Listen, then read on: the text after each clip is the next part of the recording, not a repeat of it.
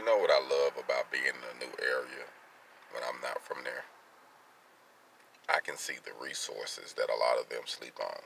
I done had a lot of people from here be like, man, how can you do this? Or man, how can you do this? And it seems like majority of people got in their mind the concept that you have to do certain things in order to get it done. So it discourages them like, oh, that can't be done. Or, or you got to be doing something legal to make it happen. Nah, bro, it's out here in the city, this city of Phoenix, there's a lot of money out here. It's just how you tap into it. And yeah, you might have to um, change up some things, but you can get it. It's available. You don't have to do what you think you got to do in order to get it. I mean, I'm proving fact, bro. I'm from Arkansas. I'm out here getting my hog on, literally. You know what I mean? I haven't punched a real clock, did a real job. It's, it's all independent granted with me. I love that.